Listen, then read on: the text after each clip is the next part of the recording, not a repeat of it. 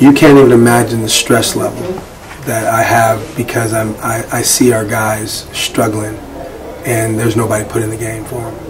And they're, they're these guys work hard. They're playing hard, and it's just unfortunate. It's a shame that they have to play under these circumstances.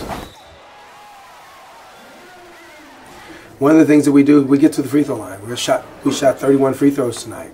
We only made 22, which would have helped us uh, a little bit. But you know, when it's all said and done, you know, Hicks goes one for 10, Edmerson's one for four. But those guys played hard, you know. But we shoot 41% from the field, and it, it's very difficult to do that when the other team shoots 54% from the field. It's really tough. But but it's the tempo of the game. I, and that's why I put Aaron Parks in in the second half to, to sort of match up with a little bit more uh, their speed.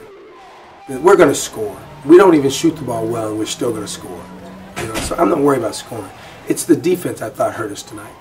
I thought defensively we were very poor, and uh, guys were making excuses about not doing this or not doing that, and that to me is is a loser's mentality.